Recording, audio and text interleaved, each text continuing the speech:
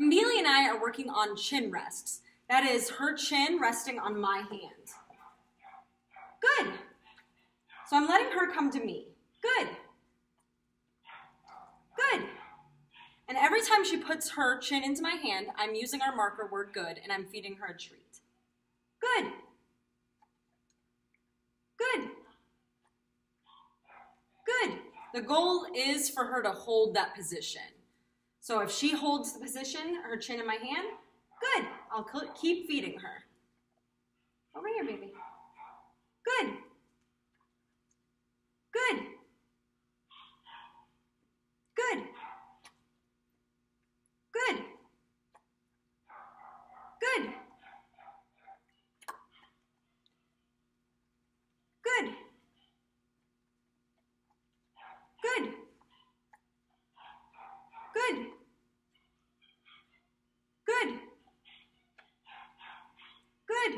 She's getting good at holding this position, so I'm going to start pausing longer in between treats.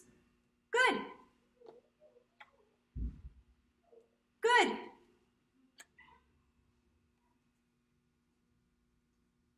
Good. Good.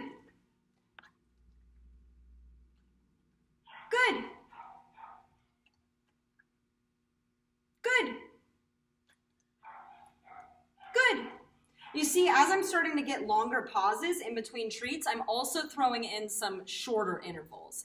I want to always make sure to throw in some shorter ones to keep her interested as I start to increase duration in between treats. Good.